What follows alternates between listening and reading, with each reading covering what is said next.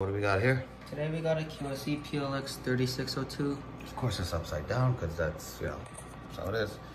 What's this one rated at? So it's rated 775 at 8. We're going to be doing that 8 at Yeah. 1000 hertz. and we only have one channel loaded, so whatever the number is, it's probably a little bit lower because of the power supply only being driving one channel. All right, so turn it up till uh, Alright, so we're at minus 10. it's still clean. 44 volts, 57. Alright, now we're hitting the clip light on. We're hitting the clip, but it looks like it has a hard limiter inside. So it's not going to... Oh, Oh, it does clip a little. So back So- up a tiny bit right there. So it's clipping. So it's 79.4 volts at 8 ohms. Let's so let's do the is. math real quick. 79.5 or 4, I can't remember. 0.5.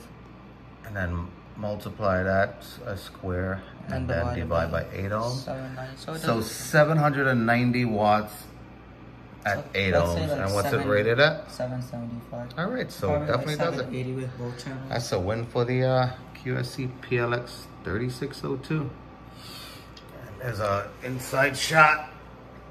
I guess the transistors are under there. Um, quick little power supply shot. And that's it for this amp dyno. All right, say bye. Bye.